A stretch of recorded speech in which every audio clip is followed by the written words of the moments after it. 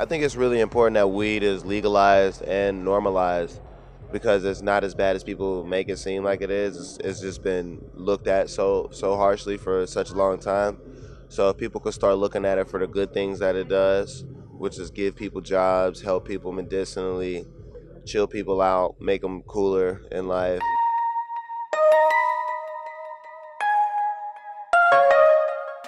Five tips to roll a good joint is to have a straight paper. I don't like crinkly papers. Uh, use a tip because you don't want to get weed in your mouth. Use a grinder because it's hard to break down trees and put it in a paper by itself.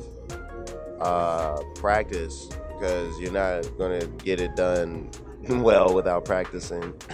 And relax because you can't you can't be all stiff while you're rolling a joint. You just gotta be easy breezy.